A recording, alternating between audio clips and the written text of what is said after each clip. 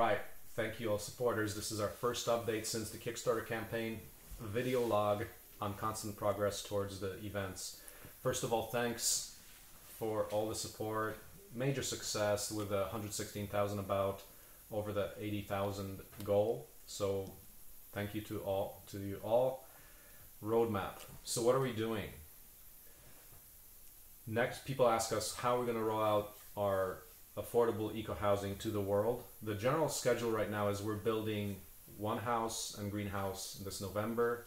We're going to build another one early spring next year, and that's those two are going to be both at Factory Farm on our site. We are going to fully engineer the all the structures to make believe that we're in a code jurisdiction, while we really have no codes here. We're in a rural area. Now, after that, we're going to begin our training program and two more builds, house greenhouse in 2017, culminating with our uh, code compliant, fully code compliant living building challenge version by 2018. So what's the scaling program? The scaling plan is we're training students beginning next year. We're looking at two to four people, possibly two pairs of two, and simply scale double every single year from then for the next 17 years to reach 100,000 people who are builders within 17 years. That's the grand vision.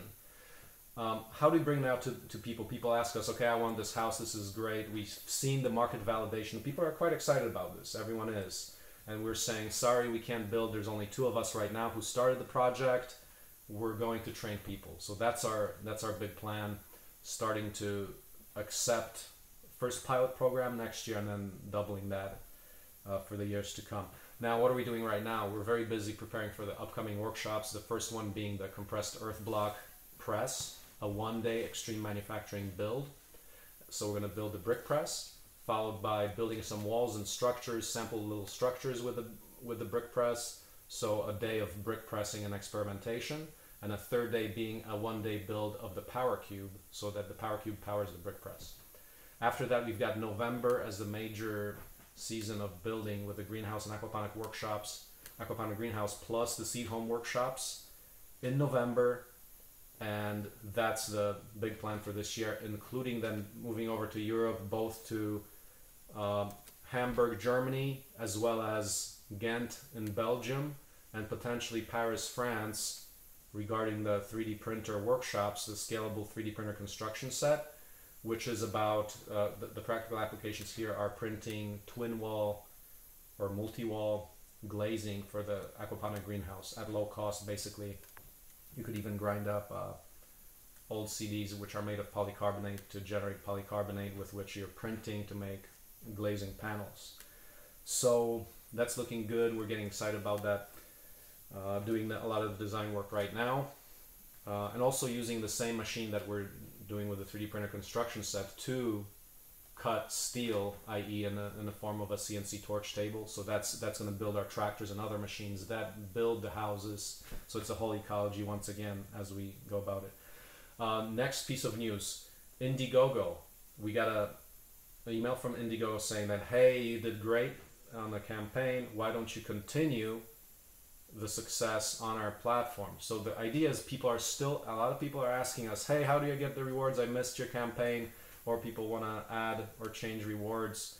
Uh, so we decided to go forward with that and basically replicate the campaign on Indiegogo. It's called on Indiegogo on demand, so, and we're going to way reduce the, the amount of rewards because it was just crazy. Like the largest number of rewards that we had, like 30 or so. We're going to bring it down to like seven and continue for people who missed the campaign. So you can tell them about it. They can still continue to support us on the Indiegogo campaign. Okay, as far as some technical details, uh, the biggest challenge right now is actual engineering of the modular housing units that, that we're doing. So the modular construction system does not follow the IRC, the International Residential Code. Simply that kind of stuff that we're doing like in this house here, hybrids of brick construction and modular uh, carpentry panels, they're not really covered by the building codes.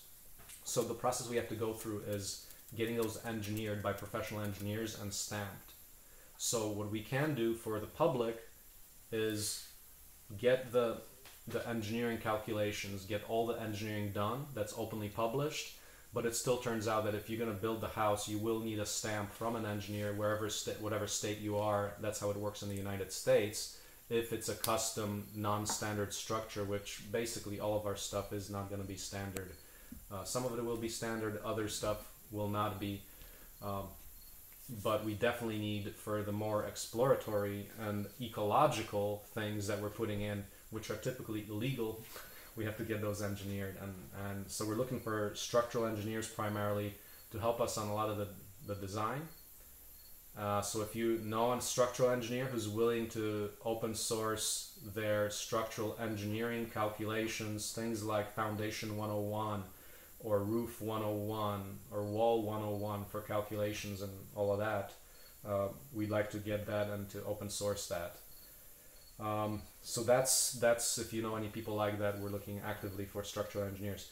As far as uh, next thing you can you can do if you'd like to contribute, actually tomorrow we're holding our first design sprint, which is a if you look on the wiki opensourceecology.org/wiki design sprints you can sign up for a, a, a, design sprint, basically a bunch of people working remotely on a computer, uh, collaboratively editing and contributing R&D to a document. Tomorrow we're going to be looking for subject matter experts.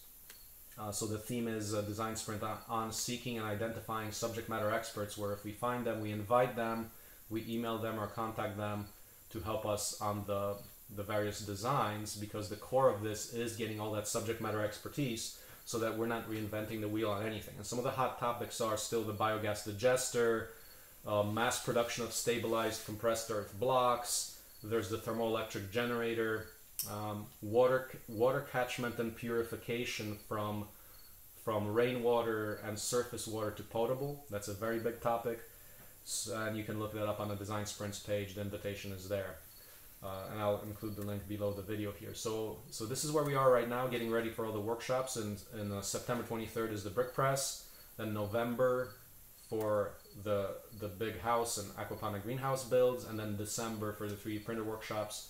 So stay tuned as we'll continue these updates regularly. And thanks again for supporting us. Thank you.